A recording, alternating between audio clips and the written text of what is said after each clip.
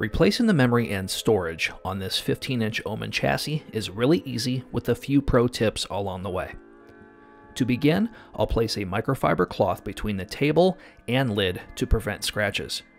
Then remove 8 screws that secure the bottom panel. The 4 screws in the front of the chassis are much shorter than the rear. Installing the longer screws into the front of the chassis will damage your laptop. I'll use the suction cup to gently lift the bottom panel enough to get my fingers underneath, then gently pry away starting at the sides, then moving to the rear of the chassis.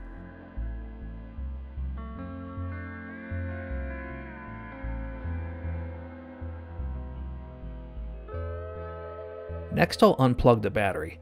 On this laptop, I prefer to use two plastic pry tools. With one on each side, I'll push the cable away from its plug. There's not a lot of room here and we'll need to take an extra step when plugging in the battery cable. I'll show this near the end of the video.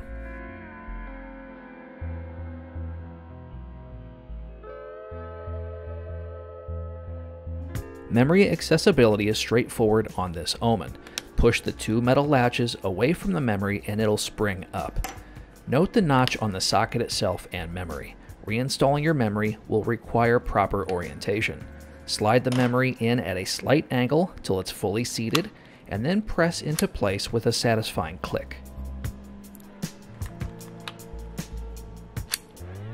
There's two M.2 slots for storage, both with their own copper cover with a thermal pad for improved heat dissipation. Here's the factory 1TB installed on this particular Omen. And here's the empty side that I'll install my own drive since I'm running out of space.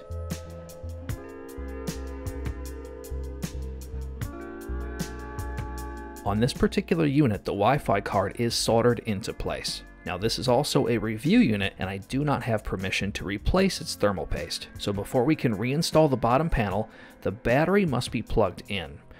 There's very little room here, and I do not feel good about forcing this connection at an angle in fear of bending pins. I recommend partly removing the battery to gain a better advantage here. There's five screws that hold it into place. I'll remove four of these screws, leaving the fifth in its place. That screw is located under the M.2 drive and we do not need to completely remove the battery to complete this task.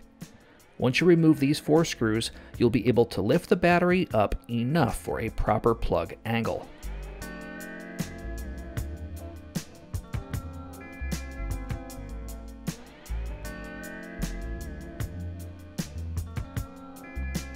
Success. Secure the battery back into place. Reinstall the bottom panel, setting it into place and pressing down gently on the edges of the laptop. It'll pop and click into place.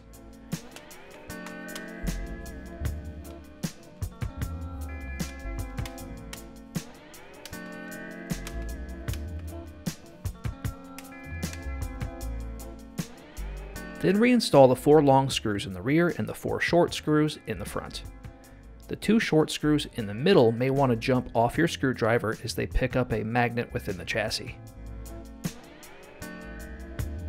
Power the system back on.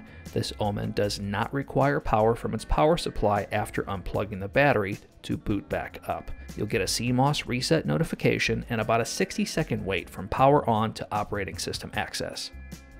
This procedure did not reset my undervolt within the Omen Gaming Hub either. For more information on that and this laptop, click here or links in the description for those videos as well as the proper tools for jobs like this on my Amazon storefront.